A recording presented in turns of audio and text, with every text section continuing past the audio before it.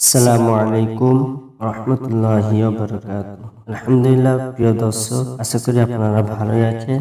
আজকের ভিডিওতে সুরা ফাতেহার গুরুত্বপূর্ণ ফজলত সমূহের কথা জানব। সুরা আল ফাতেহা পবিত্র আল কুরআনের প্রথম সুরা, আয়াত সাতটি মক্কায় অবতীর্ণ।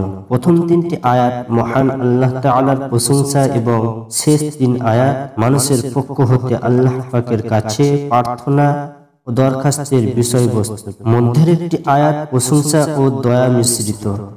এ সুরা দ্বারা চিরতরে আল্লাহ পাক ছাড়া অন্য কারও ইবাদত নিষিদ্ধ করা হয়েছে। সুরা ফাতিহার ফজিলতের কথা বর্ণনা করে শেষ করা যাবে না।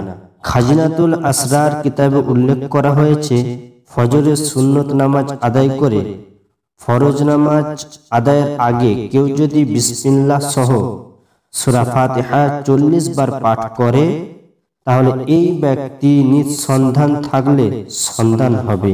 বেকার থাকলে চাকরি হবে ঋণ থাকলে ঋণ পরিশোধের উপায় হয়ে যাবে। সম্পদহীন থাকলে সম্পদ লাভ হবে অসুস্থ থাকলে সুস্থ হয়ে যাবে। ও বিপদাপন্ন হলে উদ্ধার পেয়ে যাবে।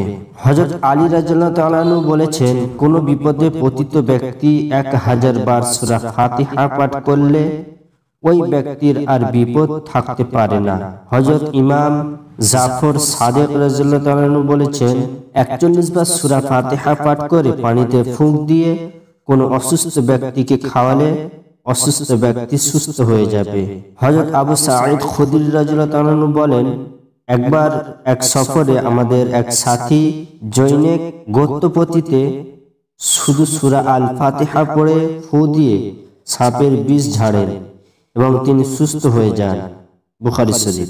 এ দেখে রসুল সাল্লাহি ওয়াসাল্লাম তাকে জিজ্ঞাসা করিলেন, এটা যে রকিয়া, অর্থাৎ পড়ে ফু দেওয়া সুরা, তা তুমি কেমন করে জানলে? তফসির ইবনে কাসির হজরত আবু হুরাইরা রাজুল্লাহ তালানু বলেন রসুল্লাহ সাল্লাম ফরমিয়েছেন, তোমরা সুরা ফাতিহা পাঠ করো। কোনো বান্দা যখন বলে, আলহামদুলিল্লাহ রব্বিল আলমিন তখন আল্লাহ পাক বলেন, আমার বান্দা আমার প্রশংসা করেছে। যখন আমার বান্দা বলে আর রহমান রহিম। তখন আল্লাহ পাক বলেন, আমার বান্দা আমার গুণ বর্ণনা করেছেন বান্দা যখন বলে, মালিক ইয়া উমিদ্দিন তখন আল্লাহ পাক বলেন, আমার বান্দা আমার মর্যাদা বর্ণনা করেছে। বান্দা যখন বলে, ইয়া কানা আবুদ ইয়া কানাস্তাইন তখন আল্লাহ পাক বলেন, এ হচ্ছে আমার ও আমার বান্দার মাঝে কথা। আমার বান্দার জন্য তাই রয়েছে যা সে চায়। বান্দা যখন বলে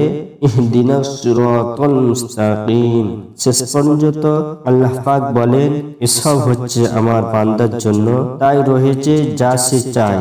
মুসলিম শরীফ তিনশো পঁচানব্বই। এছাড়া কোরআনের একটি হরফ বুঝে পাঠ করলে দশটি নেকি লাভ হয়। সুরা ফাতেহায় একশো পঁচিশটি হরফ রয়েছে। একশো পঁচিশটি হরফ যিনি পাঠ করবেন, তার আমল নামায় বারোশো পঞ্চাশটি নেকি দান করা হবে।